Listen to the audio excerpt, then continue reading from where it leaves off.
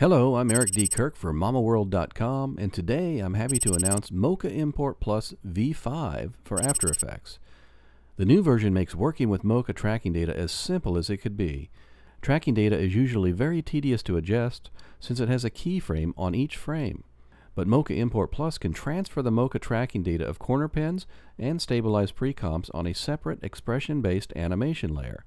This means you can reposition your corner pin easily and even add your own keyframes on top of the track to fix inaccurate tracks.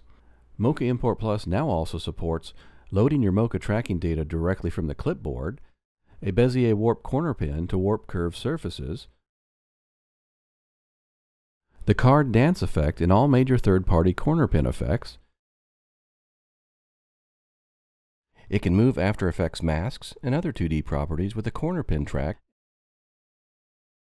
and has a scripting API for programmers who want to use Mocha Import Plus in their own scripts.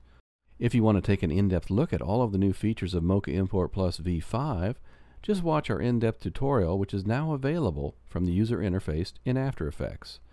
You can upgrade to Mocha Import Plus v5 from any previous version for just $14.99 or if you buy it in combination with the Mask Tracker Plus, you only pay for the Mask Tracker Plus and get the Mocha Import Plus upgrade for free. Again, this is Eric D. Kirk for Mamoworld.com, and goodbye, everybody.